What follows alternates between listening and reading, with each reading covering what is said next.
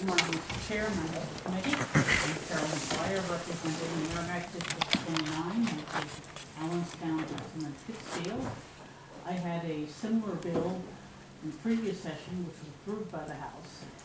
Died in the Senate because, I'm not sure why, but I- one of the reasons was they didn't want to be seen doing what Massachusetts did. So, um, that's, you know, nice for your policy, but with a hundred thousand New Hampshire residents working in Massachusetts, being on a different time zone would be uncomfortable, to say the least. The reason that we're trying to do this is partly to avoid the spring forward, fall back, because that change is well known to be dangerous. Uh, there's lots of data in the report, it causes accidents, it causes sleep disruptions. And the reason to go to Atlantic time is because of the asymmetry of our clocks. There are a lot more people out and about at six P M than at six A M. So in order to have afternoon daylight, we're willing to let it be dark in the afternoon, in the morning.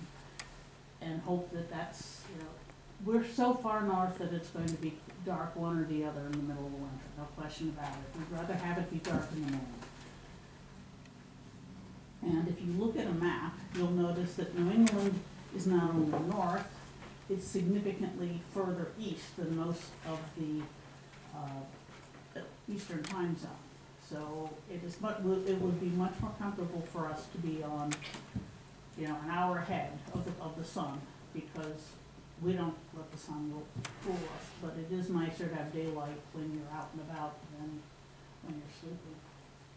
Uh, and the reason Indiana is such a problem is that the, I believe it's county by county in Indiana, whether they go to daylight savings time or not, so it's always a mess.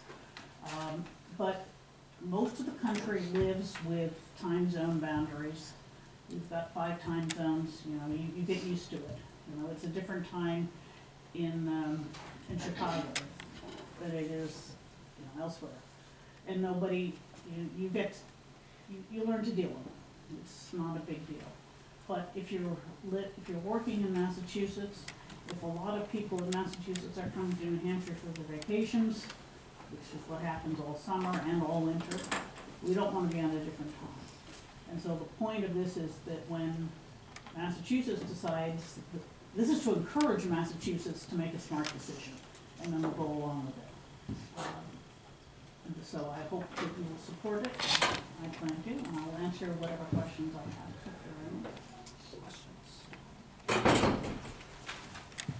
Just, uh, I just, I just like to say to and McGuire, I'm gonna enjoy Red Sox games on the West Coast starting at midnight. If this passes.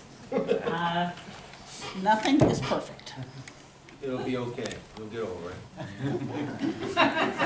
Besides, you live at home, not on the road.